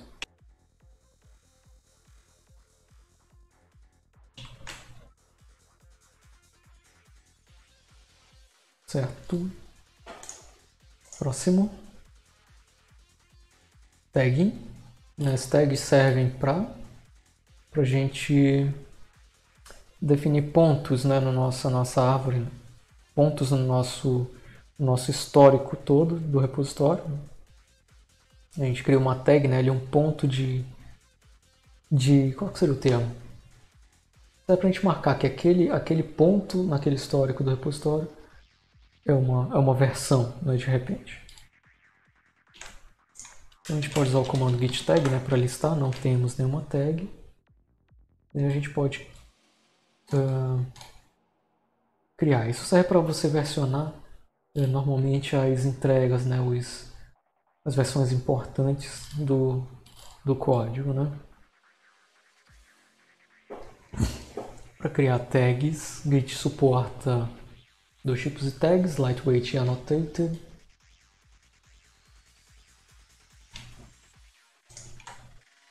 Angels, cara, obrigado pelo follow, acabei de ver aqui.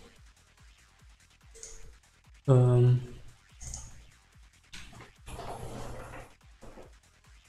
Na última live a gente estava. A gente fez todo um roadmap né, do que vai estudar. Começando pelo Git para relembrar. A gente vai ver Docker também. Uh, e depois uh, os outros frameworks. Uh, React, algumas coisas de async await. Desde o básico até o avançado mesmo. Então aqui no, no caso do Git é para relembrar desde o básico e ir passando até as partes mais avançadas, como branches e, e a parte distribuída, né? Como, como fazer é, dois, dois repositórios serem mergeados, por exemplo.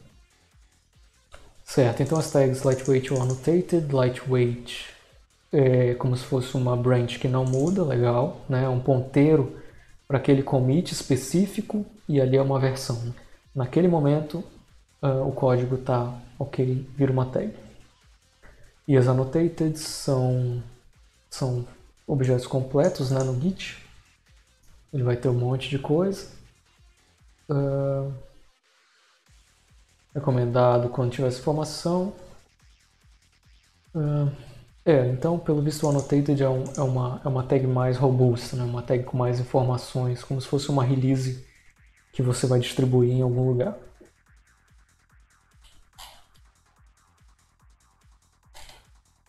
Ah, eu lembrei quando a gente usa isso. É o lightweight. É, normalmente a gente usa então annotated, né, quando a gente faz release de, de código, versão 1, versão 1.5 que seja. E o lightweight pode ser usado, por exemplo, para versões internas. Né? Você vai liberar uma versão para teste, então você pode usar um, um, uma tag lightweight para fazer isso. lembrei agora que a gente já usou isso uma vez no time.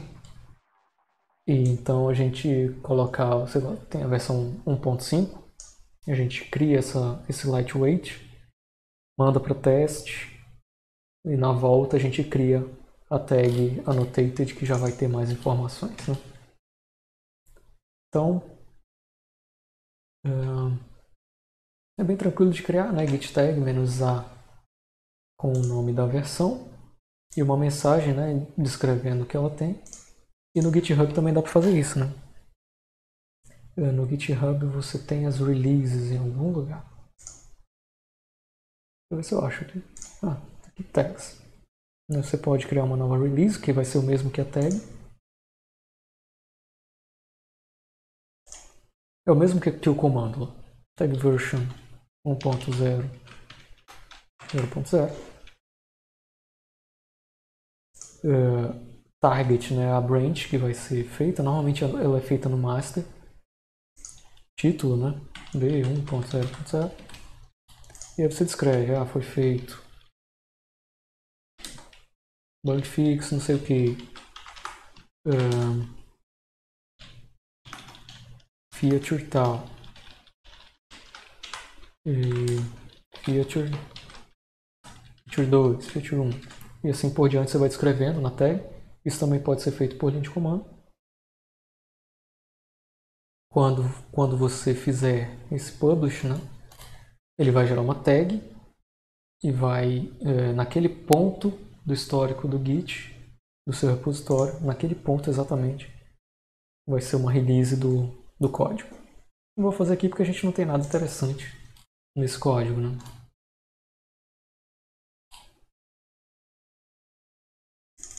Mas acho bacana lembrar desse conceito de lightweight, é bem, é bem útil para teste.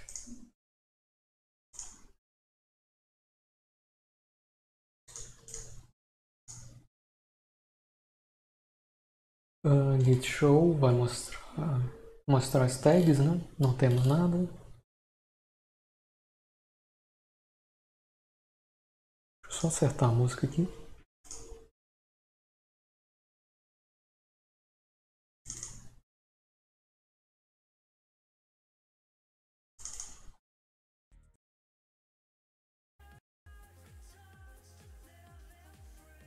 Ok. A Git tag é um conceito bacana, mais quando a gente tem releases. Por enquanto não tem muito o que ver, não.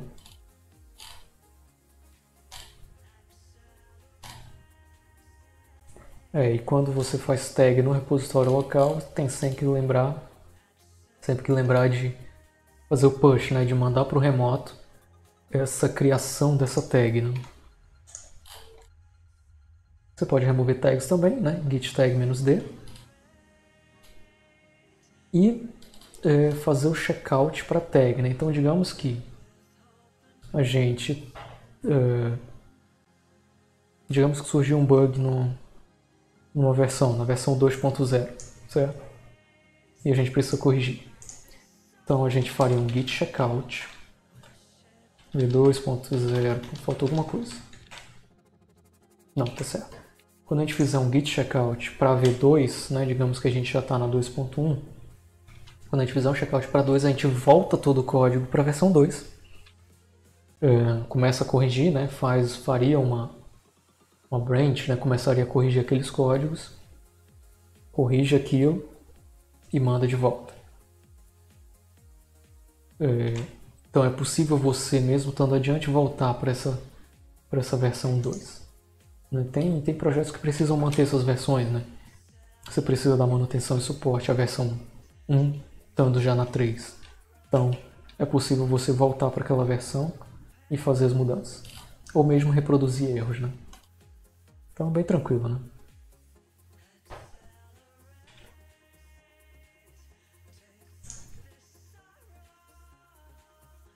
Tags é basicamente isso. É, Talvez quando a gente estiver fazendo exemplos de, de repositório distribuído, a gente pode ver melhor isso aí. Git aliases. Git aliases para que serve? Eu não costumo usar isso não. Uh, Git experience simple aliases, ok.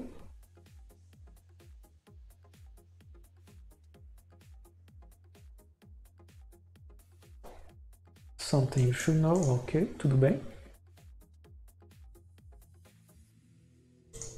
Uh, git.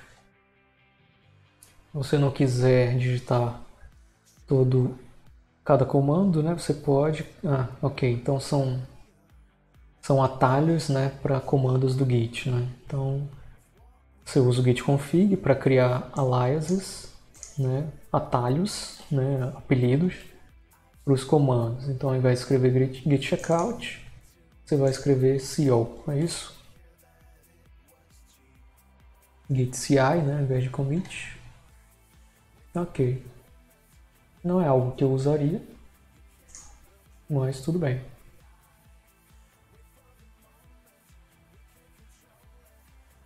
Unstage, é interessante para criar comandos, mas aí GitLast, esse daqui pode ser útil, né, para você para você pegar só o último comando. Isso aqui pode ser interessante. Vamos fazer isso aqui.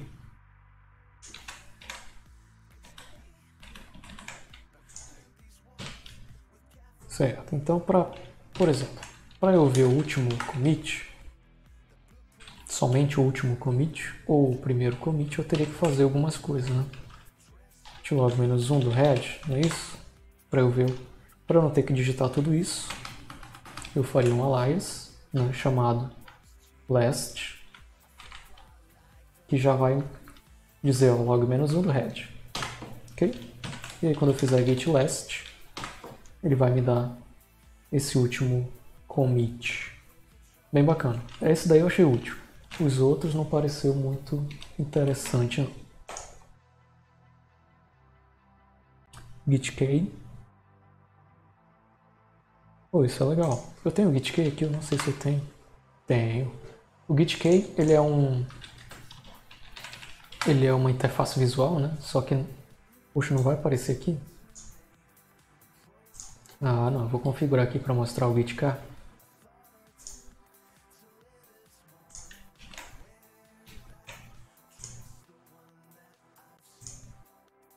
Deixa eu colocar aqui o GitK.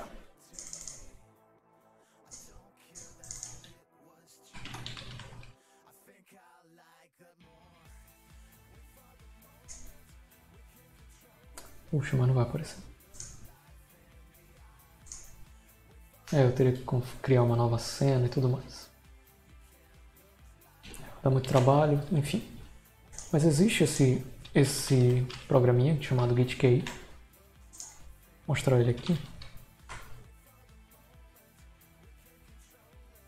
Ele, ele te mostra de forma visual né, toda a tua árvore.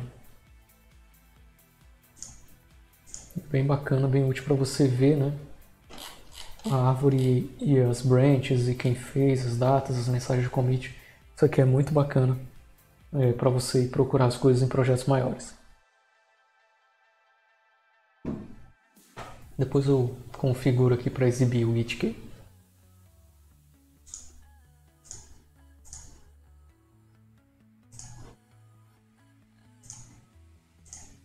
É, do, de aliases é basicamente isso, né? Você criar atalhos para alguns comandos do Git. O único que eu gostei foi esse aqui do last.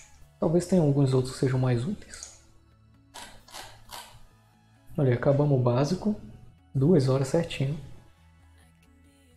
Uh, nesse momento, né, você pode fazer o básico, criar o clonar repositórios, papapá, né, fazer uh, modificações, staging, commits, eh, visualizar o histórico, beleza. E aí o próximo é o principal do Git, né? que é o modelo de branches, que a gente vai fazer em outro dia. Né? Que esse sim vai ser bem bacana, que é o principal ponto do Git, parte de branches. Né? Entendendo branches, trabalhar com Git é, fica mais fantástico ainda. Principalmente nos times maiores e nos times distribuídos. Branch passa a ser uma funcionalidade essencial.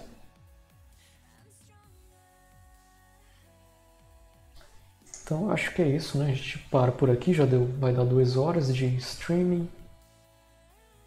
Ficou alguma dúvida? Se ficou alguma dúvida, a gente, a gente pode tentar pesquisar, né? Aquela dúvida do, do restore e do reset foi bacana. Me ajudou muito a, a entender. Para a música de novo.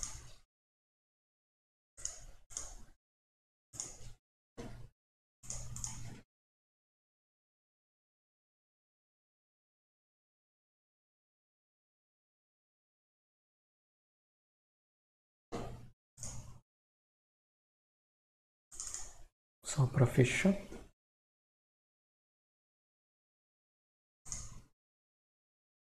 Então beleza, na próxima a gente vai ver. Eu vou ver se eu abro hoje à noite a live, lá pelas, pelas 8, 9 horas. De repente a gente pode ver Git Branch ou outra coisa. Se não, amanhã. A gente pode fazer amanhã nesse horário, né? De, de 5 horas, né? 5 às 7. A gente pode dar uma, dar uma olhada. Você manja de. Tu manja de branches, Angel? Como é que tá aí? A gente trabalhava muito né, com, com as branches, né? Branches de master, claro, dev, né, stage. Cara, era fantástico. Bom, se não for hoje à noite, eu acho que amanhã sem falta a gente a gente continua. Eu quero fechar essa parte de Git ainda essa semana. Uh, a gente tem os branches para ver. a parte de servidor, né? Aqui é mais para só para relembrar como é que funciona. O principal aqui também é essa parte distribuída. E aí, de repente a gente encontra alguma coisa útil nesses outros capítulos. Beleza? Fechando por aqui, cara. Valeu por acompanhar. E até uma próxima, beleza? Forte abraço.